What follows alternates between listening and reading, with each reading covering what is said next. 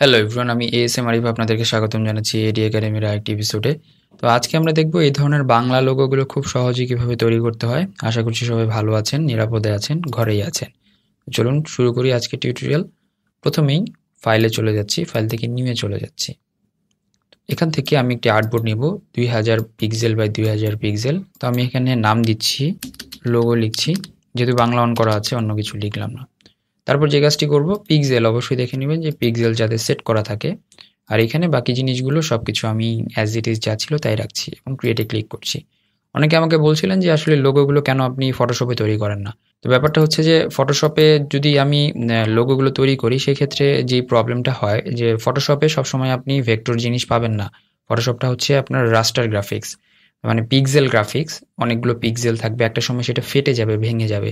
প্রিন্টে নিয়ে গেলে CMYK colour mode ঠিক মতো পেতেও পারেন, নাও পেতে পারেন বা ভেঙে যাওয়ার যে পসিবিলিটিটা থাকে সেটা ফটোশপে খুব বেশি। ইলাস্ট্রেটরে যেটা হয় যে আপনি যত ছোট সাইজেরই বানান না কেন সেটাকে আপনি অনেক বড় করতে পারবেন ইলাস্ট্রেট করতে পারবেন এক্সপান্ড করতে পারবেন। এই অ্যাজামশনটা আপনার থাকে। তো এই কারণে আসলে আমি ইলাস্ট্রেটরেই লোগোগুলো বানাই। আর ইলাস্ট্রেটরে বানালে হয় কি যে আপনি পরবর্তীতে আপনার প্রিন্টের ক্ষেত্রে আপনার লোগোটা কিন্তু অনেক বেশি কাজে দেয়, তো সেই ক্ষেত্রে আপনার কিন্তু এদিক থেকে আপনি সেফ জোনে থাকতেছেন। এই জন্যই ইলাস্ট্রেটরের লোগোগুলো বানালে গ্লোবালি এবং লোকালি সব জায়গায় আপনি সেফ জোনে থাকলেন। আর ফটোশপে বানালে হ্যাঁ ফটোশপে অনেক সুন্দর সুন্দর লোগো বানানো যায় বাট ফটোশপে আসলে প্রফেশনালরা ফটোশপে কমই বানায়। যদি ডিজিটাল মিডিয়াতে আপনার লোগোটা ইউজ হয়, সেই ক্ষেত্রে ফটোশপ ওকে বাট প্রিন্ট মিডিয়ার জন্য এবং ডিজিটাল মিডিয়া উভয়টার জন্যই আমার আসলে ইলাস্ট্রেটরটাই জরুরি। এ কারণে আমি আসলে ইলাস্ট্রেটর বেশি প্রেফার করি। যাই হোক, অনেক কথা বলে ফেলেছি। এখন আসুন, আমি এখান থেকে ইলিপস টুলে চলে যাচ্ছি। একটি ইলিপস আঁকবো এল প্রেস করে। শিপ প্রেস করে ধরে এবং অপশন বা অল্টার প্রেস করে ধরলে আপনি সেম রেশিও অনুযায়ী একটি সিমেট্রিক ওকে এঁকে নিলাম। এঁকে নেওয়ার পরে আমি এটাকে জাস্ট অল্টার প্রেস করে কেটে নিব।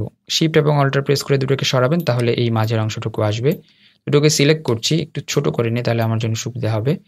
তারপরে যে কাজটি করব সেটা হচ্ছে যে এখানে দেখবেন যে পাথ ফাইন্ডার দিয়ে এটাকে ইন্টারসেট করা যাবে, এভাবে কেটে নিতে পারবেন।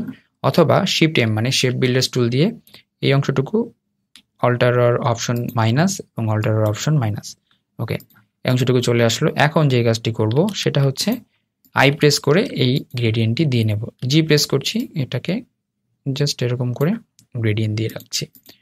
ওকে ফাইন এখন আসুন, এটাকে আমি রোটেট করে করে ঠিকঠাক করব। এটাকে একটু ছোট করে নিই, তাহলে আমাদের জন্য সুবিধা হবে। তো এটাকে ডিলিট করে দিচ্ছি। এখন আসুন, যে এটাকে রোটেট করব। রোটেট করব কীভাবে? আপনি আর প্রেস করলে রোটেশন টুল চলে আসবে, অথবা আপনি এখান থেকে রোটেশন টুলটি এখানে সিলেক্ট করবেন। সো যেটা করবেন, যে অ্যাঙ্কর পয়েন্টটা বা রোটেশনের পয়েন্টটা এখানে নেয়ার পরে অল্টার প্রেস করতে হবে আপনার। অল্টার প্রেস করে যদি এটাকে একটু ঘোরান, বা আপনি যদি হচ্ছে অল্টার প্রেস করে এটাকে এখানে জাস্ট একটা প্রেস করেন তাহলে দেখবেন যে এখানে আসবে কত ডিগ্রি আপনি দিতে চান। তো থার্টি ডিগ্রি তো আমি এটা কপি দিচ্ছি এবং control D control D D দিয়ে এটাকে ঠিক এরভাবে পূরণ করলাম। এখন আসুন অপশন বা অল্টার প্রেস না করলে কিন্তু এটা আপনার প্রপারলি হবে না। এটাই হচ্ছে টেকনিক সবচেয়ে বড় কথা। এখন আসুন যে এটাকে আপনি অপোসিট একটু যদি কমিয়ে দেন, এরকম আসবে। আর আপনি যদি চান গ্রেডিয়েন্টের কালার চেঞ্জ করতে, ধরুন আপনি এই কালারের গ্রেডিয়েন্ট ইউজ করবেন, করতে পারেন। এটুকু পর্যন্ত আমাদের কাজ একই রকম হয়ে গেল। এটাকে গ্রুপ করে ফেলছি কন্ট্রোল জি প্রেস করে। একটু সাইডে রাখছি, এখানে একটা গ্রেডিয়েন্ট নেব, এখানে কিছু কাজ আছে। রেক্টেঙ্গেলে চলে যাচ্ছি রেক্টেঙ্গেল থেকে শি প্রেস করে একটি স্কোয়ার শেপ এঁকে নিচ্ছি। তো এটার গ্রেডিয়েন্ট কালার দেব হচ্ছে নর্মালি যে কালারটি থাকে আমাদের প্রিসেট করা এটা। এটাকে হচ্ছে রেডিয়াল করে দেব।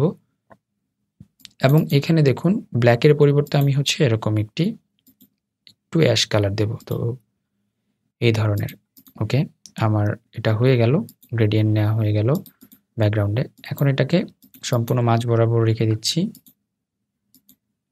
আর্টবোর্ডের সাথেও এটাকে ঠিকঠাক করে রেখে দিচ্ছি, যাতে করে ঠিকঠাক হয়। আর এটা যেহেতু উপরের লেয়ারে চলে এসেছে, এটা পিছনের লেয়ারে পাঠাচ্ছি, আপনি শর্টকাট কিটা একটু খেয়াল করুন। এখন আসুন নিচে শ্যাডো দিব কীভাবে? শ্যাডো দেওয়াটা খুবই সহজ এলিপস টুলে যাচ্ছি, একটা সার্কেল এঁকে নিচ্ছি পাশে। তো এই সার্কেলটা বানাবো হচ্ছে, দেখুন, এখানে একটা অর্কিডের একটা গ্রেডিয়েন্ট আছে, এটাকে দিব। এখন এখান থেকে এটাকে রেডিয়াল করে ফেলব এবং এখান থেকে করব কি? আপনার ব্ল্যাক এবং এখান থেকে করব এরকম ব্ল্যাক ওকে এরকম হয়ে গেল। এখন দেখুন, ঠিকঠাক করে নিচ্ছি। ফাইন ওকে এখন এটাকে ফ্রি হ্যান্ডে এটাকে স্ট্রেচ করে ফেলব এবং ভি প্রেস করছি এবং এখানে নিয়ে চলে আসছি। এটাকে ঠিক মাঝ বরাবর বসিয়ে দিলাম। এখন এটার অপোসিটি একটু কমিয়ে দিতে হবে আমাদেরকে। ওকে অপোসিটি কমিয়ে ফিফটি পার্সেন্ট করে দিচ্ছি। তাহলে মনে হবে শ্যাডোটি ঠিক এটার ওপর পড়েছে। এ হচ্ছে ব্যাপার, এখন লিখেছিলাম কি?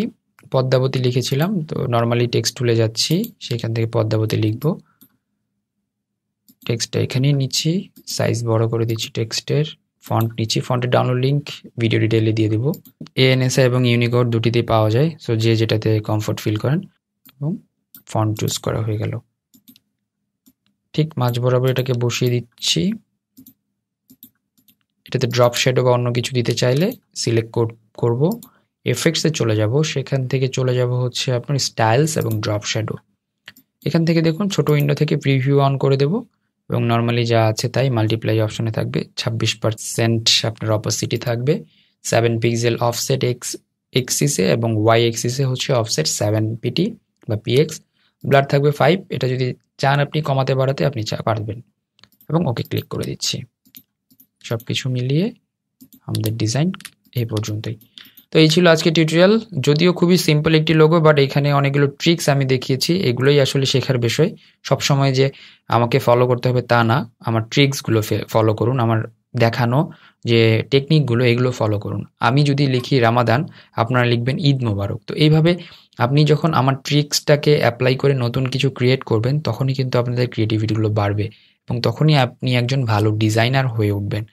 তো এই ছিল আজকে টিউটোরিয়াল ভালো থাকবেন সবাই। রমজান চলে এসেছে। সবাই সুস্থ থাকুন। এই কামনা করছি। Keep me in your prayers as well আল্লাহ হাফেজ।